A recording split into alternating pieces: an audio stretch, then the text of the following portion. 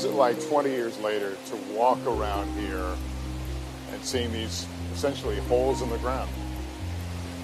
It's a feeling that brings me back, to that day because these were my buildings, my firefighters, and this city I love with people, thousands of people trapped from 90 different countries.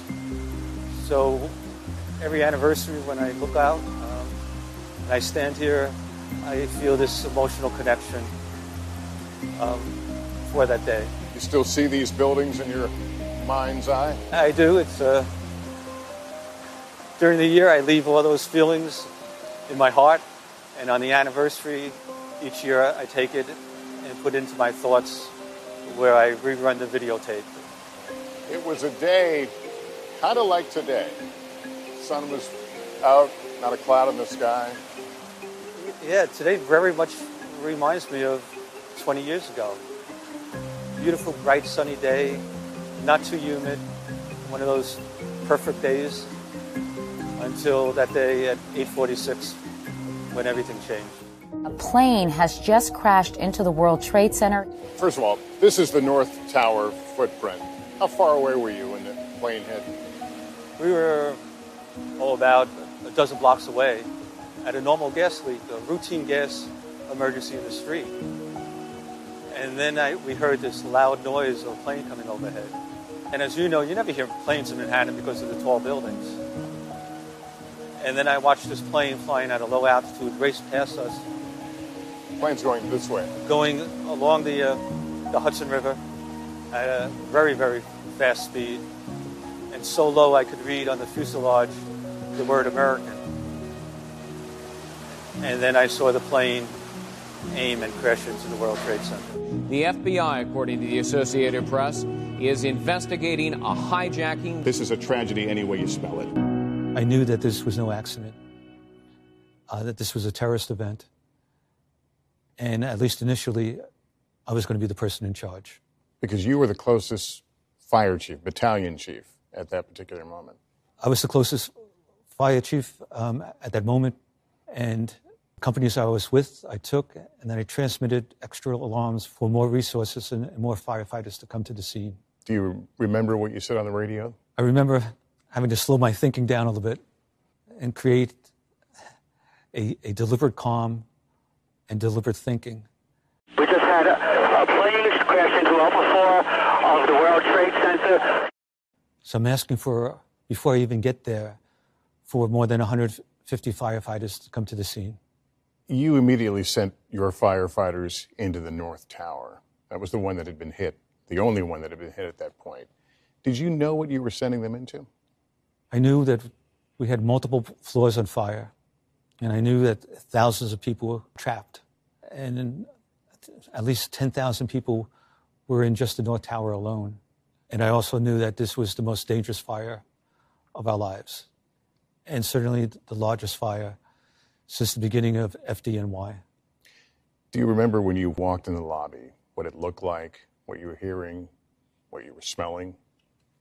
When I walked into the North Tower, into the lobby of the North Tower, I can remember seeing a couple people to my right that was burnt.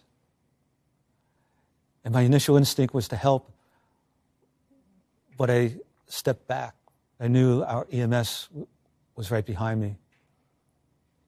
And when I walked in, I saw broken glass and part of the marble off the wall.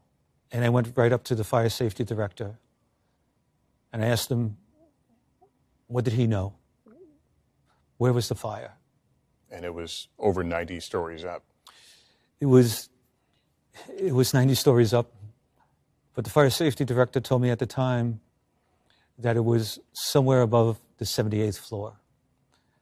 And that was the best information we were getting from the instruments in the building and reports from people in the building. Elevators aren't working. And so these firefighters, you're asking them to climb 60, 70, 80 or more stories. We hear about heroism and firefighters running into danger and running into fire, but had you ever been confronted with something that kind of challenge? I don't think any of us was were ever committed, were ever faced with such a devastating uh, fire that was started by a, a passenger plane used as a terrorist weapon. And we knew that there was multiple f- floors on fire. It was a daunting task. But we also knew that, that people needed us. You made a lot of calls that day, a lot of gut wrenching decisions. One of them was the evacuation order to evacuate both the North and South Tower, which had not been hit at that point. How critical a decision was that? A little bit before 9, 9 o'clock, I ordered the fire safety director, Mike Hurley, to evacuate the South Tower, the tower that was not hit. The only thing is that things were happening very quickly that morning. And then at 9.03, we heard another loud sound of jet engines. And that was the second tower that was now hit. But little decisions that morning made a difference. It gave some people that extra edge to move. And we know that that saved many people. How much are they carrying at that point? Firefighters each carry about 60 pounds. They're full bunker gear and helmet and boots, hose to carry, as well as firefighting tools. And they were going up these narrow stairs, maybe about four feet wide. And as they were going up, people were coming down. And the firefighters did some ordinary things. As people were coming down, they said, Don't stop. Keep going. You can make it out of here. And we know from people that survived that those words was the difference between life and death. You use the term ordinary things. Is that how you look at the events that day, that ordinary actions that save lives? I look at my hero firefighters, and I think they would say the same thing that day we did ordinary things but in an extraordinary time in history. And I think that's a challenge for all of us to be able to, to do things when it counts the most. What did you learn about your own leadership that day? That day, I learned that leadership is not about authority, but it's about connecting to others and connecting to my firefighters whether it was talking on the radio, seeing them in the lobby, or ordering them out of the building. You write in your book about the looks on the faces of firefighters as they flooded into the lobby and the lack of conversation. What was the connection you were all making in that moment as you knew what you were walking into and you knew what you had to do and it was going to be tough? Firefighters came in quietly because they knew as they were responding, they looked at the burning towers and they knew how dangerous this was going to be. So they came in quietly, which is unusual. Firefighters are usually very noisy. And they just asked one question Chief, how can I help? You were focused on the North Tower.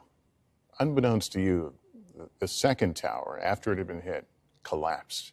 Did you have any awareness that the building next door had gone down.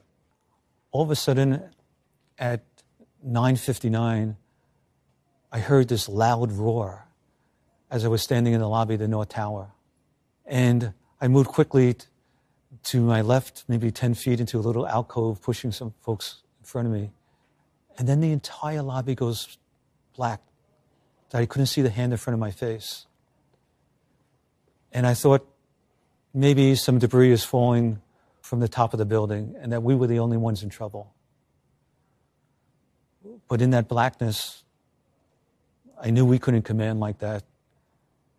And I got on the radio and said, Command to all units in Tower 1, evacuate the building.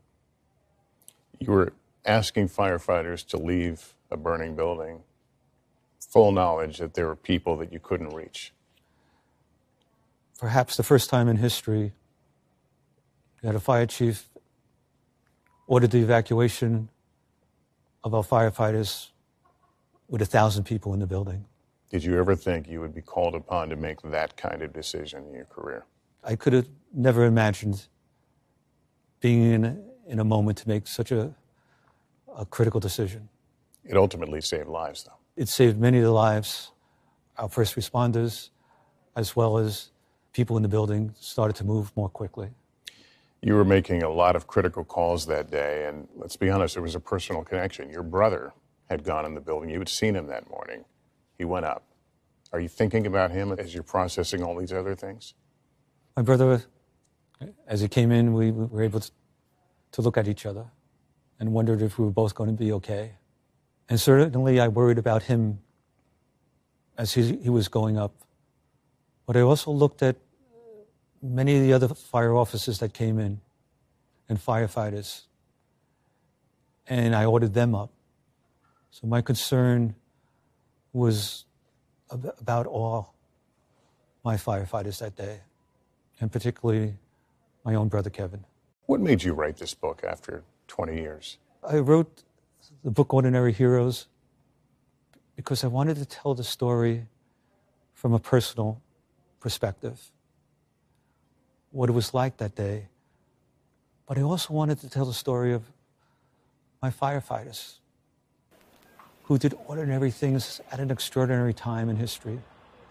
And I also want people to know that with each of us is the capacity to be, to be an ordinary hero. Was your brother one of the ordinary heroes of that day? Kevin was an ordinary hero. As he was coming down after hearing my evacuation, he stopped on the ninth floor and redirected units and other people from the C stairs, which entered onto the, the mezzanine and plaza area, to the B stairs, a safer, more quicker way out. And I only learned that from Captain Tardio of Engine 7 that, that told me that my brother saved his life that day. What do you want us to know? What do you want people to know as we mark this anniversary? I mean, we'll hear, you know, we'll hear stories and we'll, we'll relive images, but what should we be internalizing? I think what we should all internalize is that feeling of unity, of coming together, and that we need to do that today. 9 11 was a tragic event. But what we're experiencing today in many different forms is just as tragic. And we need to come together. You know, as we walk along here, you see all these names these are the people we lost that day. How much do you think about the people that you and your firefighters saved that day? That day, uh, we saved 20,000 people. And I think that's what we have to remember.